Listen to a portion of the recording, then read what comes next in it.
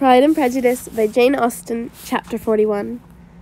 The first week of their return was soon gone. The second it began, it was the last of the regiment's stay in Meryton, and all the young ladies in the neighbourhood were dropping apace.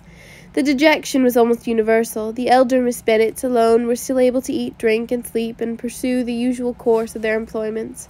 Very frequently were they approached for this insensibility by Kitty and Lydia, whose own misery was extreme, and whose could not comprehend such hard hardness in any of the family. Good heaven, what is to become of us? What are we to do?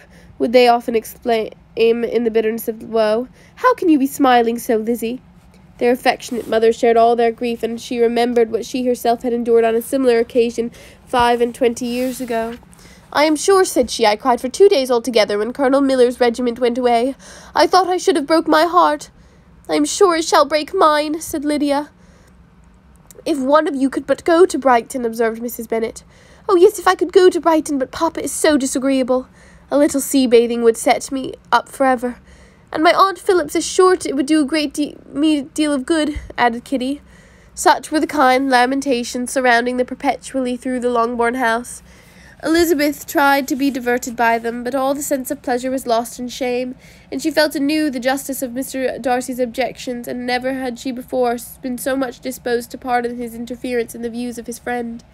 But the gloom of Lydia's prospect was shortly cleared away, for she received an invitation from Mrs. Foster, the wife of the colonel, and to the re- of the regiment to accompany her to Brighton.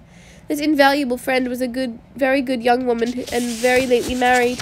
A resemblance in good humour and good spirits had recommended her to and Lydia to each other, and out of three months' acquaintance had there been intimate too. The rapture of Lydia on this occasion, her adoration of Mrs. Foster, and the delight of Mrs. Bennet, and the mortification of Kitty, are scarcely to be described. Wholly inattentive to her sister's feelings, Lydia flew about the house in restless ecstasy, calling for everyone's congratulations and laughing and talking with more violence than ever, while the luckless Kitty continued in the parlour, repining at her fate in terms as unreasonable as her accent was peevish. I cannot see why Mrs. Foster should not ask me as well as Lydia, she, she, said she. Though I am not her particular friend, I have just as much right to be asked as she, and far too I am two years older. In vain did Elizabeth attempt to make her reasonable, and Jane to make her resigned. As for Elizabeth herself, this invitation was so far from exciting in the same feelings as in her mother and Lydia that she considered it as the death warrant of all possibility of common sense, and for the latter, and the detestable as such a step must take, make her were it known. She could not help secretly advising her father would not let her go. She represented to him all the improprieties of Lydia's general behaviour, and the little advantage which she could derive from the friendship of such a woman as Mrs. Forrester, and the probability of her being yet more imprudent with such companion at Brighton, where the temptations must be greater than at home. He heard her attentively, and then said, Lydia will never be easy till she has exposed herself in some public place or other. We can never expect her to do with so little expense or inconvenience to her family as under the present circumstances. If you are aware, said Elizabeth, of the very great disadvantage to us all which must arise from the public notice of Lydia's unguarded and imprudent manner, nay, which has already arisen from it, I am sure you would judge differently in the affair. Already arisen, repeated Mr. Bennet. What has she frightened away from some of you lovers? Poor little Lizzie, but do not be cast down. Such squeamish youths cannot bear to be connected with a little absurd absurdity. You are not quite a regret. Come, let me see this list of pitiful fellows who's been kept aloof by Lydia's folly. Indeed, you are mistaken. I have no such inquiries to resent. It is not of peculiar, but of general evils which I am now complaining.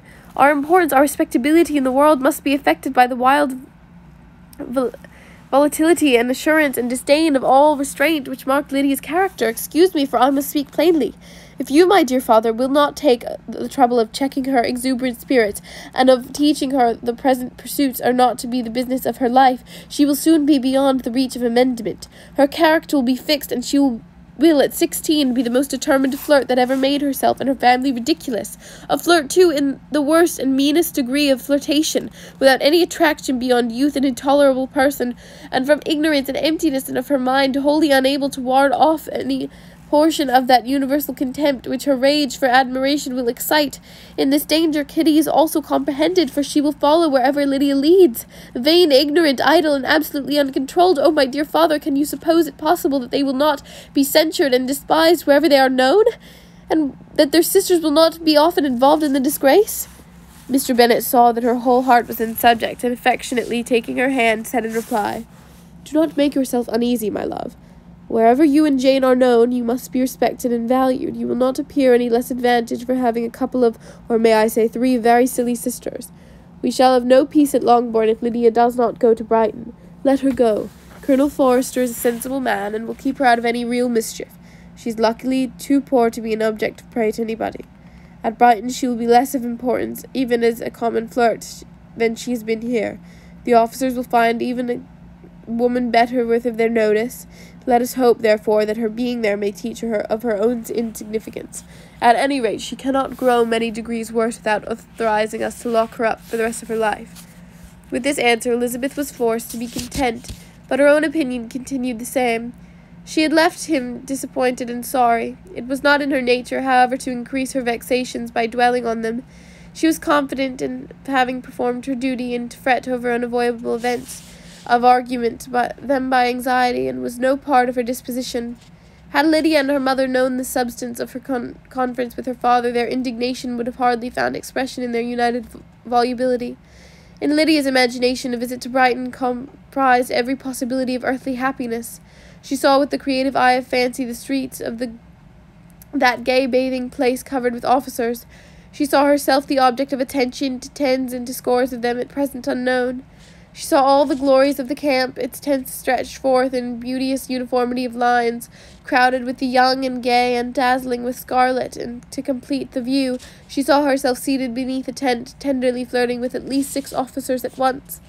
Had she known that her sisters sought to tear her from such prospects and such realities as these, what would have been her sensations they could have been understood only by her mother, who might have felt nearly the same. Lydia's going to Brighton was all that consoled her for the melancholy conviction of her husband's never intending to go there himself. But they were entirely ignorant of what had passed, and their raptures continued at their little intermission to the very day of Lydia's leaving home.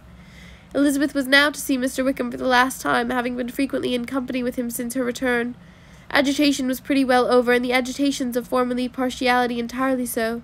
She had even learnt to detect in the very gentleness which had first delighted her an affection and a sameness to disgust and worry.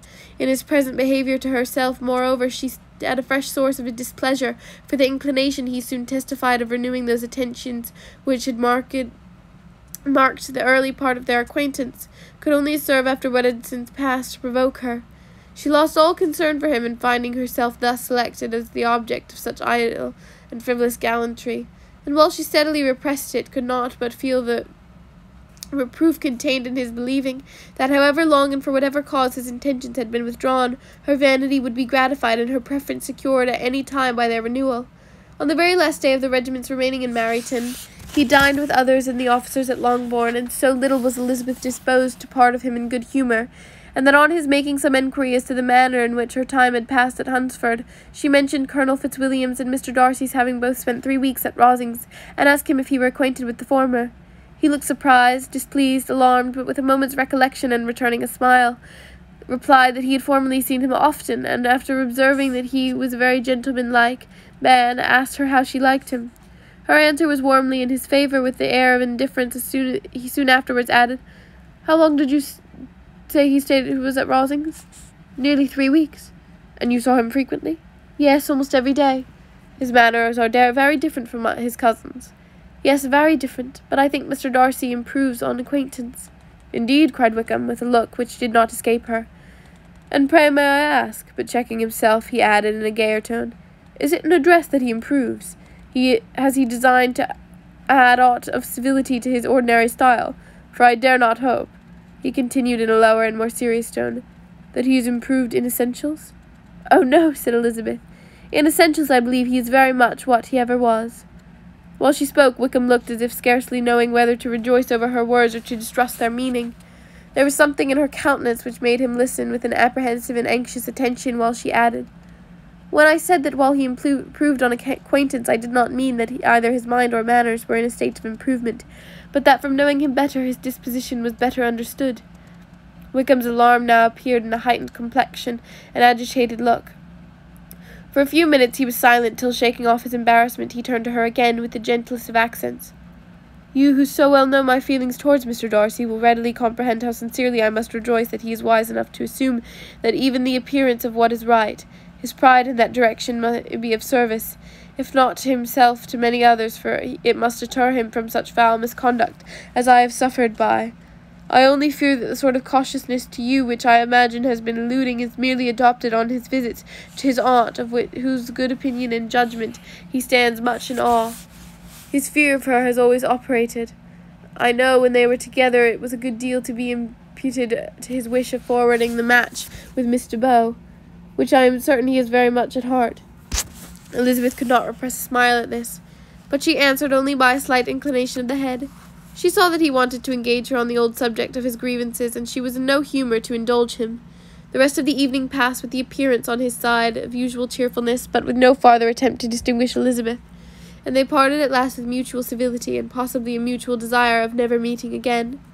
When the party broke up, Lydia returned with Mrs. Foster, Forster to Meryton, from whence they were to set out early in the morning. The separation between her and her family was rather noisy than pathetic. Kitty was the only one who shed tears, but she did not weep from vexation and envy. Mrs. Bennet was diffuse in her good wishes for the felicity of her daughter, and impressive in her injunctions that which would never be an opportunity of enjoying herself as much as possible, advice which there was every reason to believe would be attended to, and in the glamorous happiness of Lydia herself in bidding farewell the more gentle adieu of her sisters were uttered without being heard.